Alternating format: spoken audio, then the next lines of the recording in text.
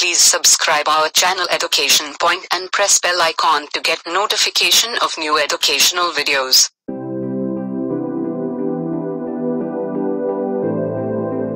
Uh, hello everyone.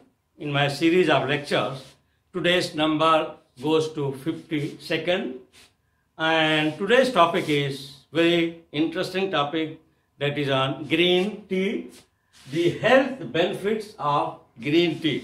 So the tea is really very very popular drink and nowadays, especially in Asia, and if you are very particular in India and Pakistan. And I understand in Pakistan, morning starts with tea, even in India also. So when we are talking of green tea, let me come and tell you that the tea actually started some few hundred years before and in 15 1600 tea was the i mean drink of elite or rich people.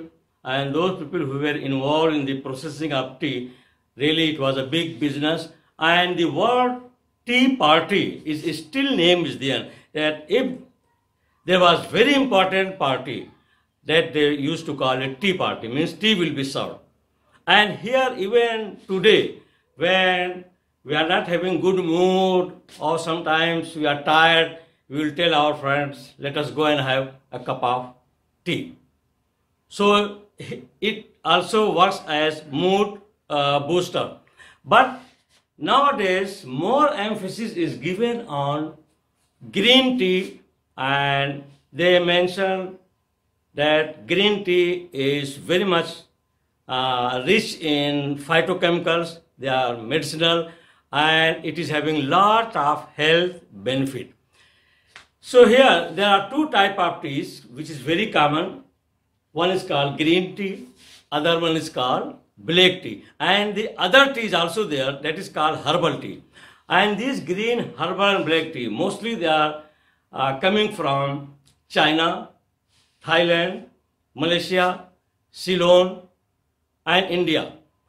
Especially the herbal tea if we are very much particular of herbal tea it is coming from i mean either thailand malaysia or china. Herbal tea means they are putting in spite of that particular plant tea plant. They add some more other herbs so to make it more medicinal.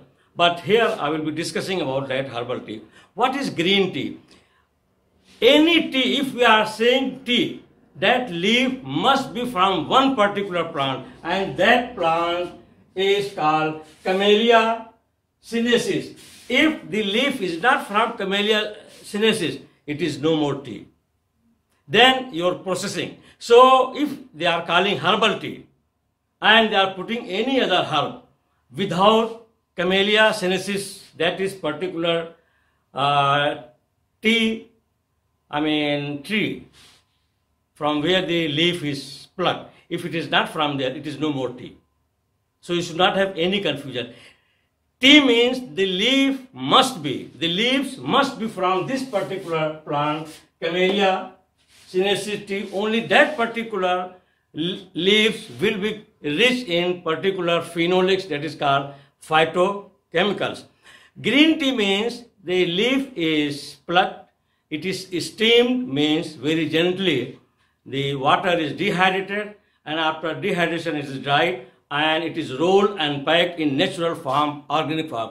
That's why it is called green tea. The black tea means that the same leaf is fermented, it is oxidized and some process is done, then it is uh, roasted and it becomes black and then it is dried and packed. That's why it is called black tea. So 90% globally, only two type of tea is there. One is green tea means which is not processed, which is not fermented, and the black tea which is fermented. For fermented and non-fermented teas are there. And in between, the other tea has come that is herbal tea. It is having lot of question. Because if they are putting other herbs, and they are claiming that this herbal tea is having lot of health benefit.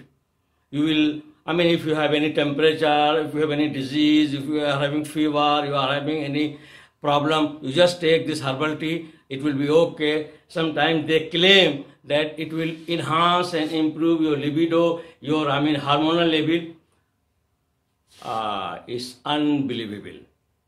Don't accept all these claims because if they are putting different type of herbs and that one is not identified specifically what type of herb is there and all herbs they have phytochemicals some phytochemicals you may be allergic your body may be allergic to that particular plant or leaf or root, whatever is put. And if you are drinking, rather than curing yourself, you are adding some problem and the allergy will be developed. So herbal tea, I will never recommend. Of course, that is very much in market today. Many people, they go for variety of herbal tea. Different type of uh, color and taste is given. Lot of commercial values is all money making. Please don't go to herbal tea. Green tea, black tea, is clear, crystal clear that these are made up of only those leaves which are plucked from the particular tree and that is identified as tea plant. This is very clear. Now, you come to this point that what are the chemicals in tea, why it is very famous. First thing is that there are a lot of phytochemicals in tea and those phytochemicals are called phenolics. They are called uh, phenolics. Uh, the phenolics means, I mean, uh, that is, for example,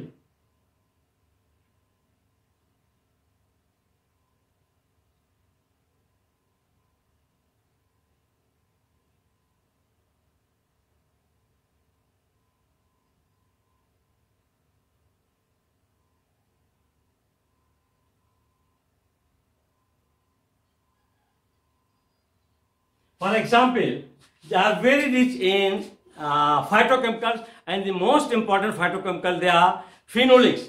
They are uh, they are phenolics. Phenolics means they contain uh, 2-phenyl benzopyrone nucleus where hydroxy group is attached to benzene ring and it is very rich in phenolic means phenolics are very good antioxidant, very powerful antioxidant, and they are capable of destroying and scavenging lot of free radicals. That's why these, uh, I mean, phenolics, these phytochemicals can enhance, can improve your immune system. That's why tea is very good, particularly the green tea and black tea both are having same effect. Only thing is that, that green tea is not processed. And the phytochemicals are the same, like in black as well as in uh, green. So those phytochemicals are taking care of your immune system by scavenging, by damaging and destroying the large amount of free radicals. That's why tea is having this health benefit.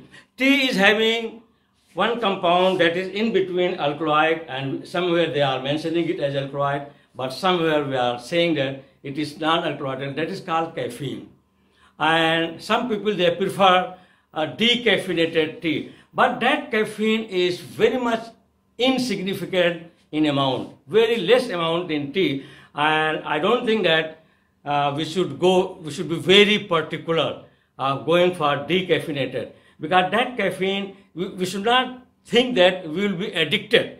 Because of this addiction, and they also mention that this caffeine is harmful to our health. That is not so bad, what people are saying, because this quantity is not too high. So let me make it very clear here in introduction. The health benefits of green tea have been given in mass media, even though the claims may be exaggerated. You are going to drink much of any beverages other than water, tea is probably your best choice. Actually, tea is your choice, is your option in place of other beverages. That, that's why it is very popular. Tea is water plus phytochemicals including caffeine and little sugar. This is the mixture of tea. Both green and black tea come from the same plant and the name of that plant is Camellia sinensis. This is the plant where the leaves are collected from this particular plant. To make green tea, the leaves are steamed, rolled and dried. For black tea, the leaves are dried and then fermented and fried.